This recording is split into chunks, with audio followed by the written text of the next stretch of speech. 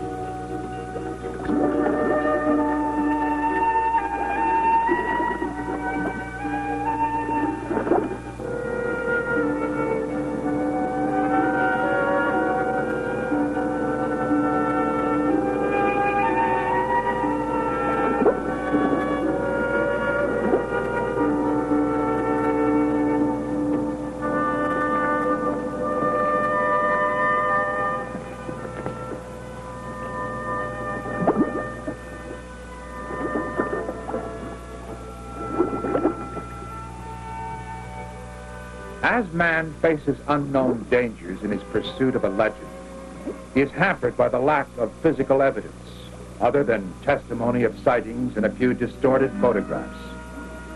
He's driven on by legends, stories of the monster dating back from the 12th century, by tales of mysterious happenings at the loch, even fantasies of strange beings from outer space who might have implanted some new form of life on our planet.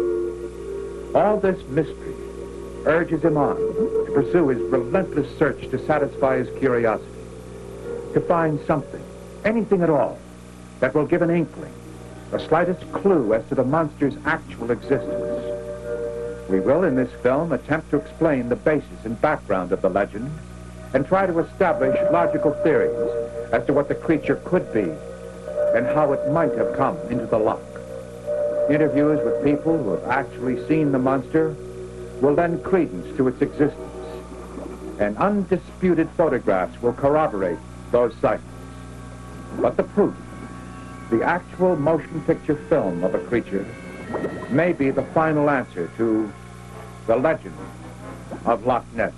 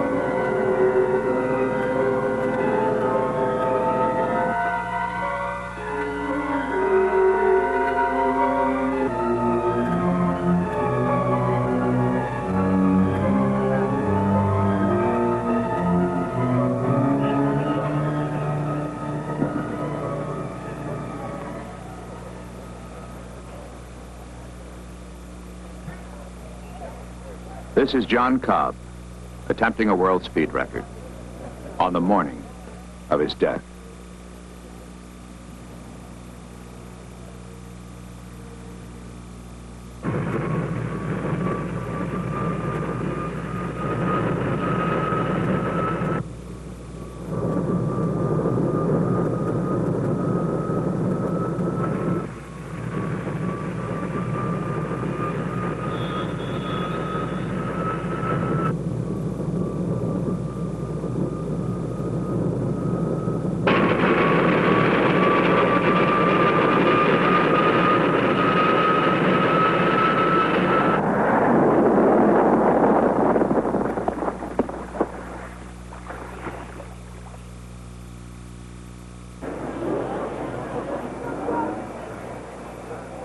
If Cobb knew the reason for the crash, it remains a mystery. And now the answer may be known only to the creatures living within the dark, cold silence of the loch.